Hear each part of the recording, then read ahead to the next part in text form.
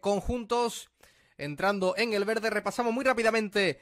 Partido que va a comenzar, como saben, a las 1 eh, hora peninsular, a las 12 en las Islas eh, Canarias, donde nos encontramos. Esto va a comenzar de un momento a otro. Va a dar comienzo de un momento a otro y arranca el partido. Ya se pone el crono en marcha del equipo Gran Canaria. Lo pone directamente en el primer palo. Ojo a ese remate que puede llegar ahí eh, a inmediación del área. El remate fuera. Por lo que el partido de hoy se antoja fundamental para crear un punto de inflexión. Vamos a ver ahí el córner. Al segundo palo la ataja sin problemas eh, Diego Mirón. Platero. Vamos a ver si consigue crear peligro. Ojo al disparo fuera. El primer eh, disparo con alguna intención del Club Deportivo Coria Se la lleva Kilian. Qué buena la pared ahí con eh, Quintero. Nuevamente Kilian. Este Braulio filtra para un compañero. Ojo al remate. Y la parada del guardameta corner. La parada de Diego Mirón. Ahora sí que se lució el eh, portero del equipo cacereño. Ocasión buenísima la que acaba de tener el Panadería Pulido San Mateo. Será nuevamente corner. Solventando el error eh, nuevamente Felipe Viera. Ojo porque va a recuperar el Panadería Pulido en la frontal. Le puede pegar ahí.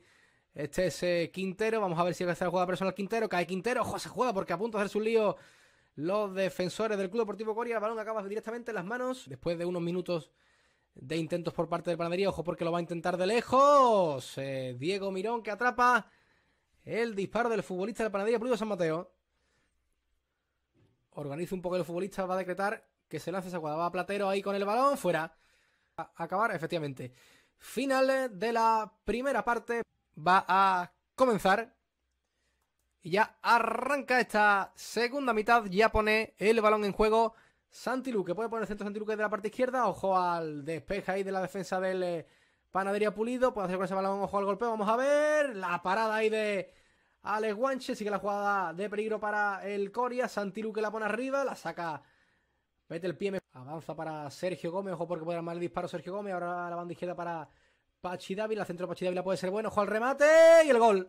Gol, gol, gol, gol, gol, gol, gol, gol, gol, gol, gol, gol, gol, gol, gol, gol, gol, gol del Club Deportivo Coria Marca Pino. Qué bueno, qué bueno, qué bueno. El centro de la parte izquierda de Pachi Dávila en una de las mejores triangulaciones del equipo de Raimundo Rosa en esta segunda mitad.